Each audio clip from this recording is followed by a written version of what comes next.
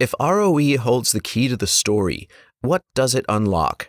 If we open up ROE, we see that it is made up of three primary ratios.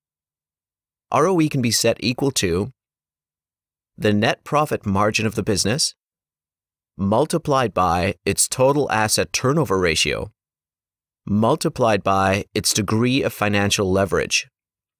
If you look at the formulas for the three ratios and consider how to multiply fractions, you will see that sales and total assets cancel each other out.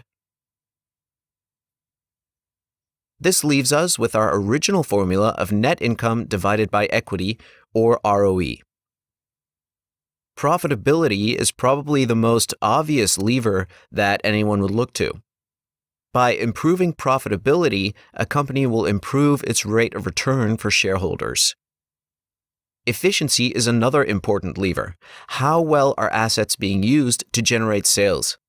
If a company has low margins, it may focus on being more efficient with its assets to generate more sales and in turn improve return on equity.